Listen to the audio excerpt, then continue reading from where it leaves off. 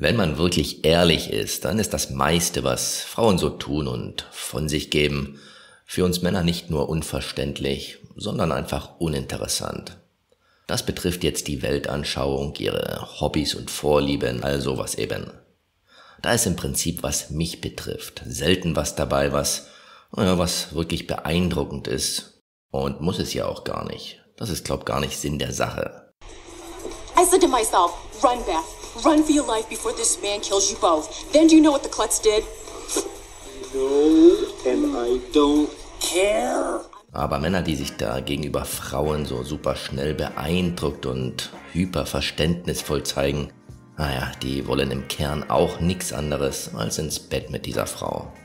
Also Männer, die sich super beeindruckt und verständnisvoll gegenüber einer Frau zeigen, die sind in Wahrheit einfach nur unehrlich, indem sie nämlich so tun, als wären sie ihr allerbester Freund.